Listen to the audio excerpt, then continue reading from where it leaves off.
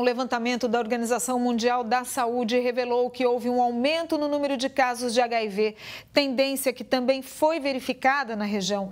Em Rio Preto, o número de casos registrados em 2018 foi 12% maior do que em 2017. As pessoas começaram a investigar mais a própria saúde. Uma doença que há anos preocupava pela falta de acesso a tratamentos e era um diagnóstico quase que certo da morte. O HIV, o vírus causador da AIDS. De acordo com a Secretaria Municipal de Saúde de Rio Preto, em 2017 foram registrados 180 casos positivos na cidade.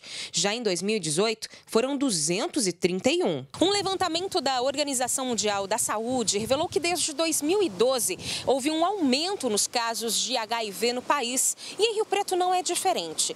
Resultado do acesso facilitado aos testes rápidos e da procura pelos tratamentos. De janeiro a abril desse ano, foram realizados 3.817 testes rápidos e 5.890 testes convencionais de HIV na rede pública da cidade, somando um total de quase 10 mil. Destes, 70 deram positivo para o vírus. Iniciativa importante para a prevenção e que está disponível nas 27 unidades básicas de saúde de Rio Preto. Quando ele vem encaminhado da atenção básica, ele vem já para o tratamento, já vem diagnosticado. É, e aí aqui no serviço é ofertado uma, um atendimento multiprofissional.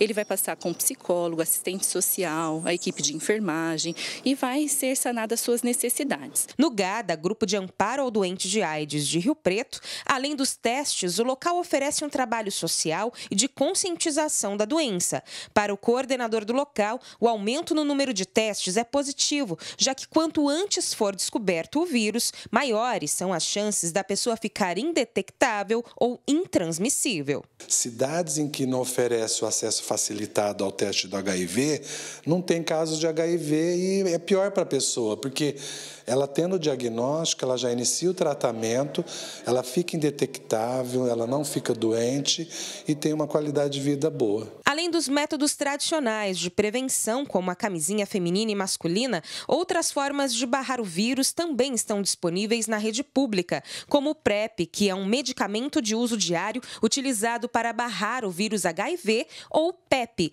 que é utilizado quando há um risco de contaminação com o vírus. A importância da prevenção combinada são diversas estratégias de prevenção para diminuir a transmissão, o risco de transmissão do HIV quer seja de quando você toma um medicamento fica indetectável e não transmite, o PEP quando você transa sem camisinha e toma o medicamento 30 dias para não se contaminar, e o PrEP para aquelas pessoas que transam sem camisinha. Mesmo com todos os métodos, a melhor forma de prevenir a doença ainda é a proteção.